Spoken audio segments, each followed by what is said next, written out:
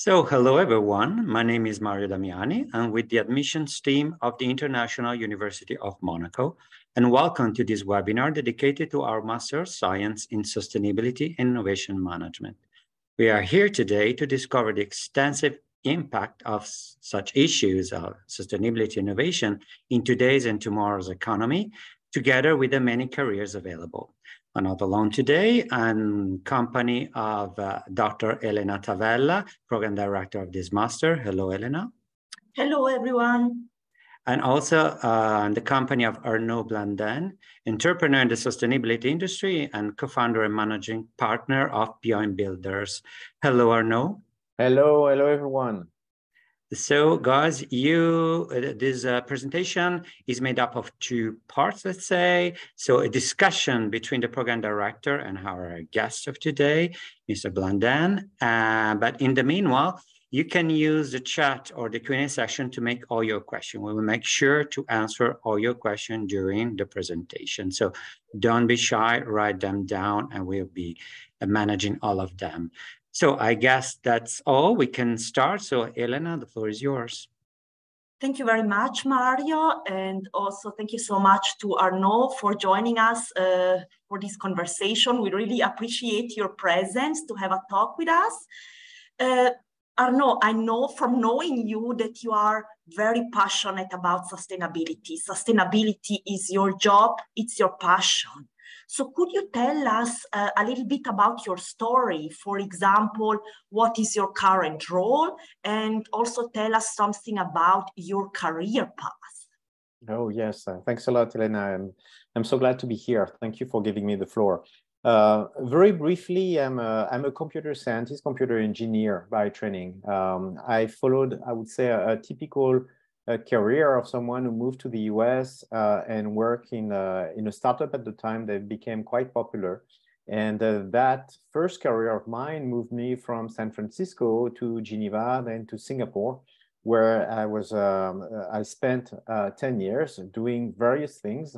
Um, after my first career, I became uh, I touched a little bit the uh, investment side, and I've been helping a lot of companies and a lot of um, uh, technological uh, company in their innovation, in growing, in uh, hiring people, in thinking about strategy.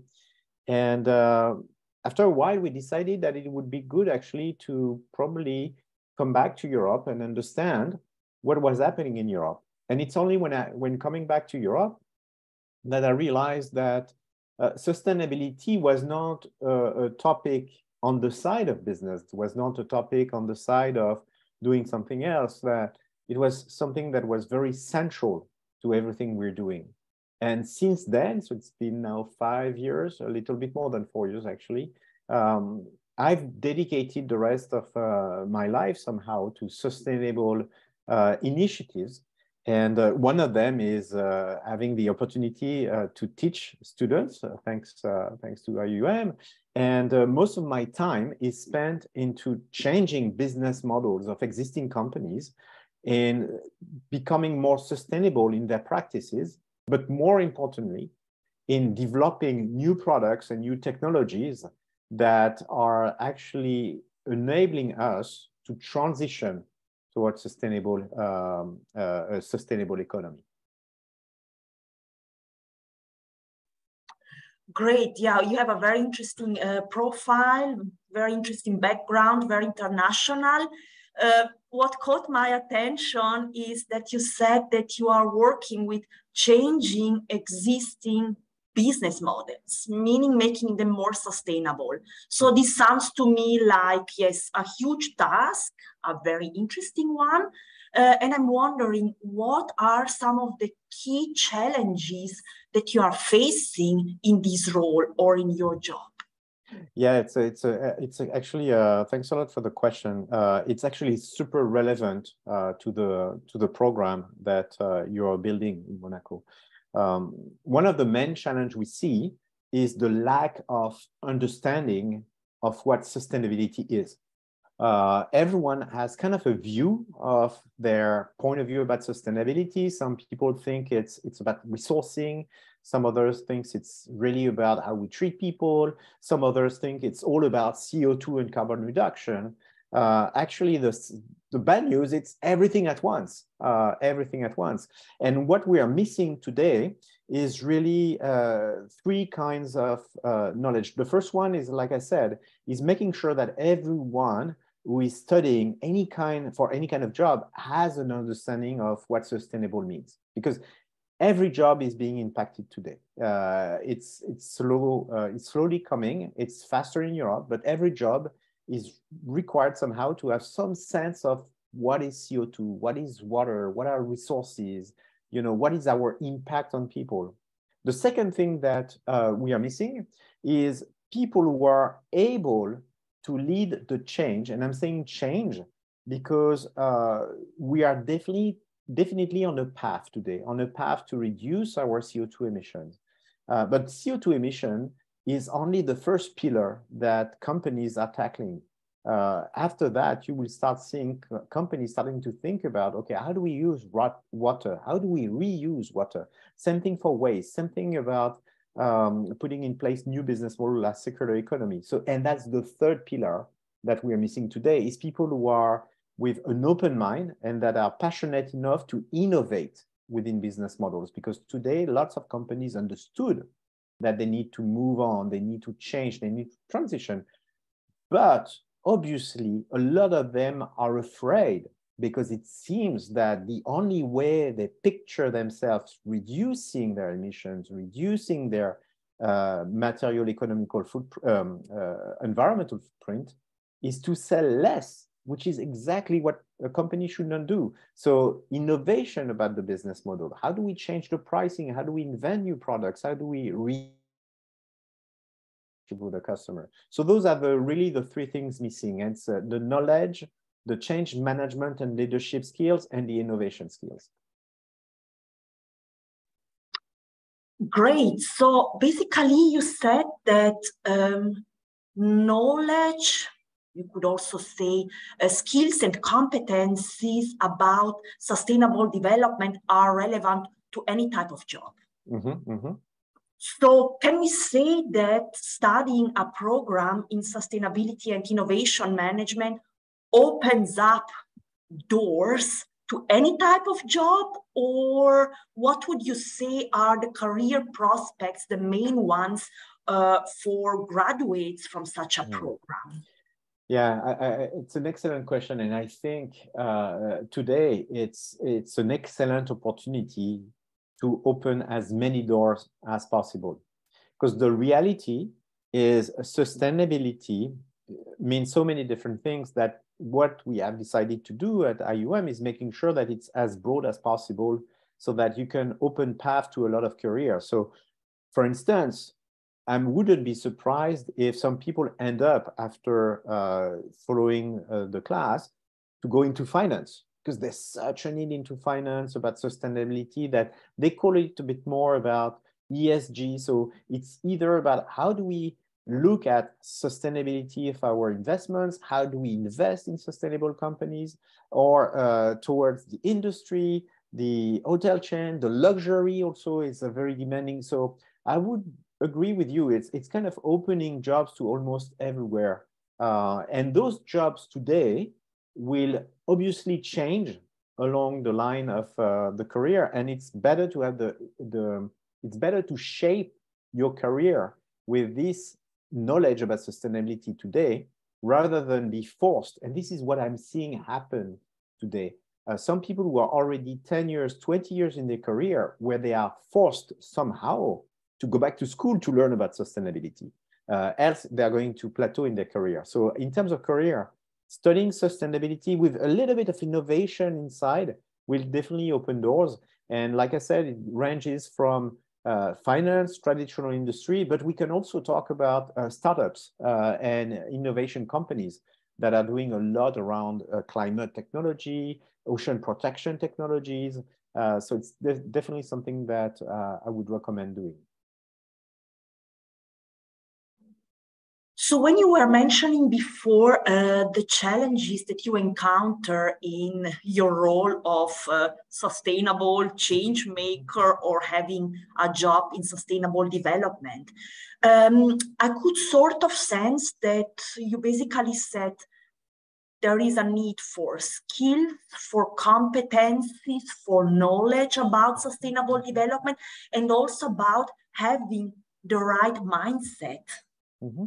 Meaning saying like kind of engaging in such a master programs and afterwards pursuing a career in sustainability requires a particular mindset. Like you were saying, somebody should not be afraid of uh, taking upon this challenge to making a change. Could you tell us a little bit more about this mindset of uh, a sustainable change maker, if we could, yes. call them yes. so?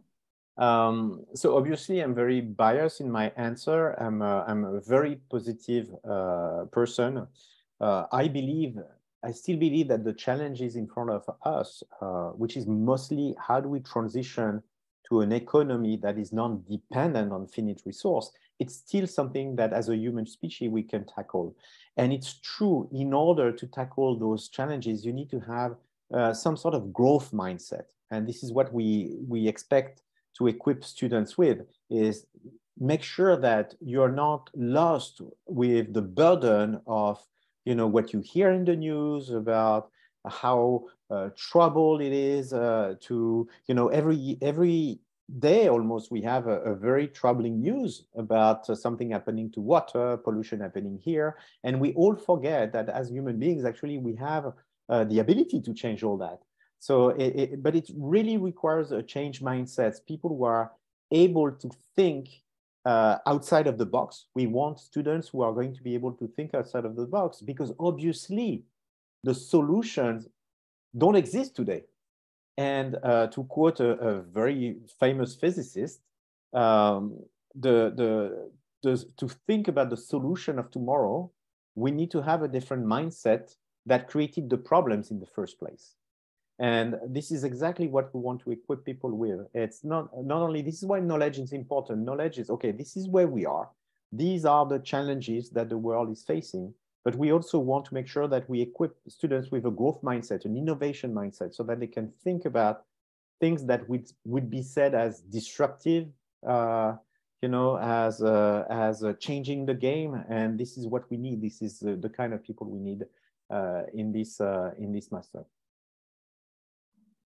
Yeah, this sounds to me all very inspiring because sort of what I can hear is that it's also about learning to trust, to trust yourself, to trust in your ability to make a change, and also to trust uh, in others, your, uh, let's say, your colleagues, your environment, your family, your friends, that uh, there can be a more positive, let's say, or mm-hmm. let's uh, let's uh, let's say let's uh, a more positive future or more a sustainable one. So that sounds uh, very much uh, inspiring together with having the right mindset, the skills, and the competencies. We were also talking about uh, opportunities for career development, job opportunities. And you mentioned, for example, uh, the opportunity to work in finance, luxury, hospitality. Uh, could you maybe be more specific about concrete and maybe the most relevant job opportunities uh, that you see currently mm. in in and outside Monaco? Yes, uh, definitely. So there's at the moment there's a, a huge demand, a really really big demand uh, for having managers who can manage what we call the ESG data, environmental, social, and governance data. There's there's something happening, a perfect storm where regulator wants to see more data, investors want to see more data, and companies are now willing to invest in people who can help them manage that data. I'm talking about data and you'll see that it has a link with sustainability because what I'm seeing is the people who are in charge of getting back that data are also thinking about how to value those data. So there's really jobs opportunity around managing the environmental and social data. Uh, on the flip side, or not really the flip side, uh, adjacent to it, we start to see also uh, innovation uh, type of job that used to be, if you remember, 10 years ago, it was very focused on digital innovation.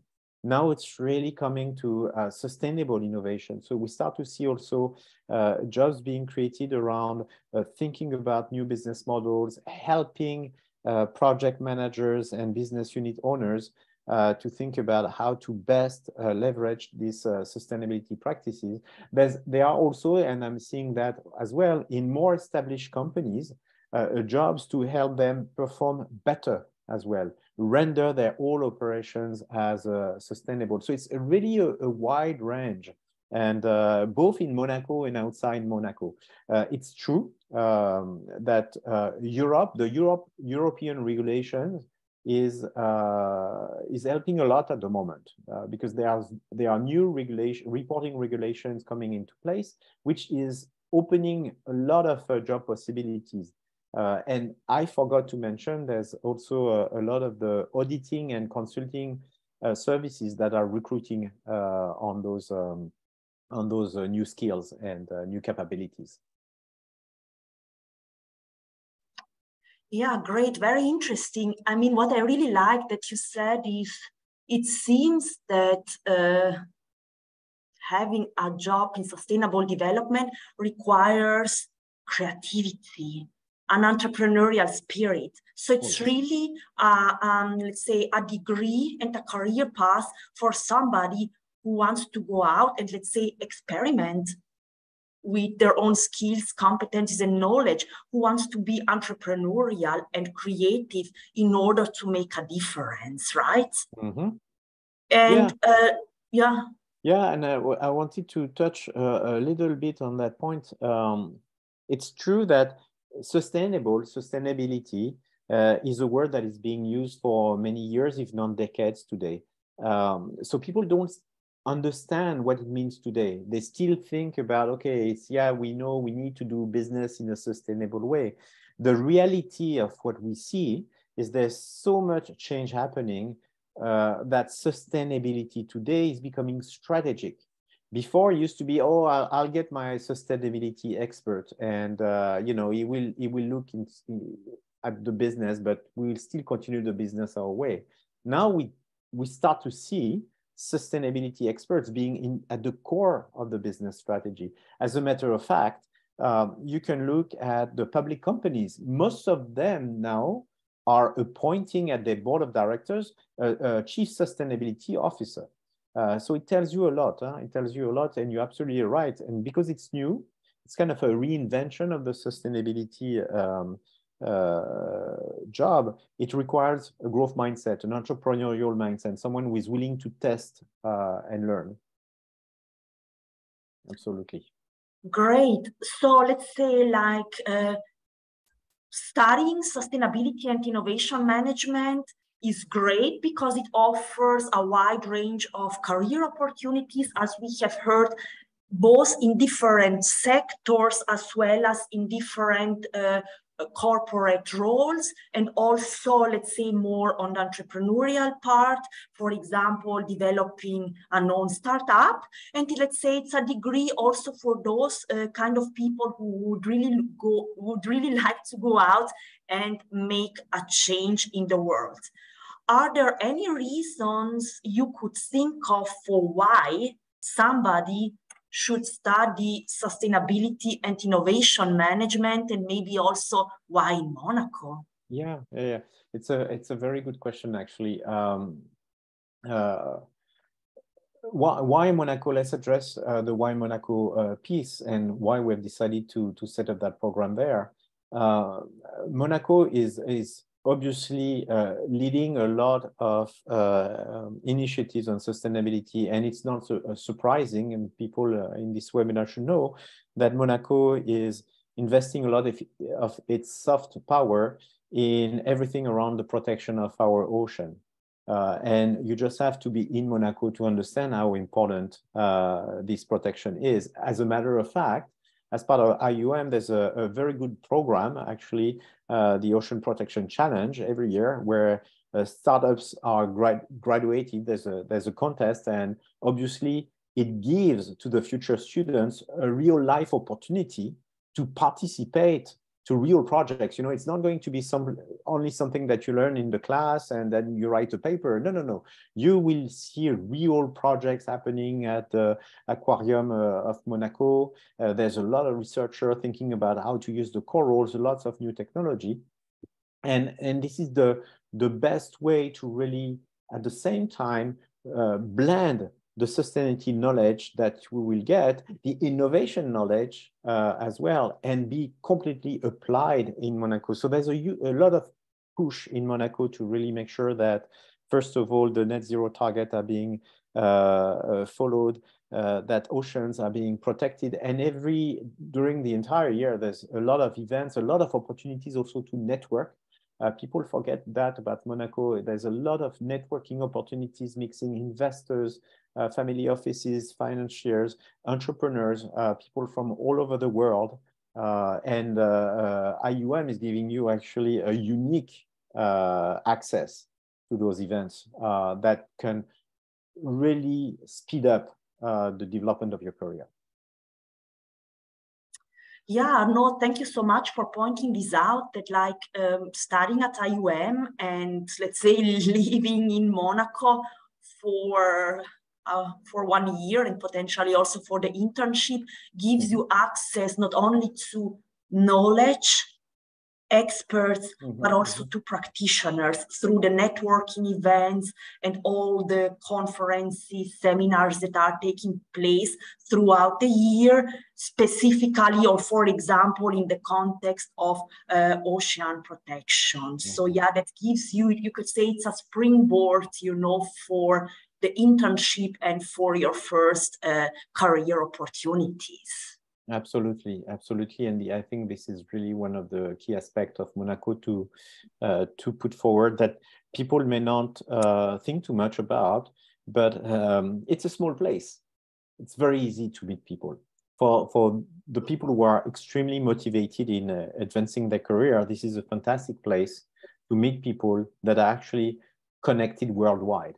Um, usually you tend to go to a, a, very large city and you realize that a lot of the business, uh, uh, um, a lot of the business community is really focused on the city itself because it's huge places, right?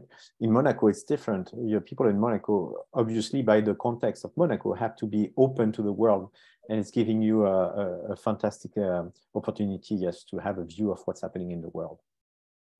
Great. Yes. Thank you so much. I have one more question to you, Arnaud. Yeah. And basically, for the, for the students who would like for, for who would like to sign up for our program, what you what would you suggest in terms of their career development? What would you say are the key suggestions for the students studying sustainability and innovation management? In in how what, what kind of um, a job they can picture themselves doing you mean in the future? Yeah like for for career advice yes. Yes yes yes yes. Um, I, I would say um, I would make sure first uh, that before signing up, um, because obviously everyone is talking to you that sustainability is, is becoming important, do a little bit of study and check all the recent agreements that companies have signed and, and, governments have signed, it will encourage you to show that the, the, the skills and talents that you will develop will actually uh, last for life. That's going to be a foundation for your future career. And um, as a career aspiration, what I can say is uh, I've seen already just in Monaco and, and around Monaco, uh, there's so many already different opportunities that you can be exposed to many different things as you know like i said working uh, uh, in finance working in an engineering company working in a startup working in an industry. Uh, the industry will have a, a huge role um, and and and keep that in mind. You won't be restricted. This is really something that uh, and even the students were actually uh, a bit lost i understand that uh, a lot of the students are still a bit young it's still a fantastic program actually to start shaping the future of your career. Uh, don't be afraid to take somehow a diploma where you realize after half a year this is absolutely not what you want to do and you know you have to finish half a year and then do something else no here it's still something where you can think during uh, the classes about where you want to go and where you want to apply. Yeah, I think it's a great advice to tell uh, students, prospective students, like take opportunities from day one because any opportunity can be an open door for an internship, for Absolutely. professional experience, for career career development, and at the same time, don't be shy, afraid no, no, no, to try out new things. no, no, absolutely, absolutely. Great, thank you so much, thank Arnaud, you. for the very interesting conversation. I'm giving back the word to Mario Yes, so thank you, thank you very much uh, to you guys for attending this webinar dedicated to Master of Science and Sustainability Innovation Management here at IUM in Monaco. As you can see, I written in the chat my email address. So uh, write to me for any additional information you would like to receive about this program or about the admission uh, process as well. I'll be uh, happy to get in touch uh, with you. And uh, for, uh, I would like to thank you, our guest, Arnaud Blandin, for sharing his insights and experience. Thank you very much. And thank you to the program director, Elena Tavella, for conducting this interesting conversation. So um, let's get in touch soon and maybe let's meet in September here in Monaco to start this new adventure with the Master of Science in Sustainability Innovation Management. Thank you. Thank you, everyone, and goodbye.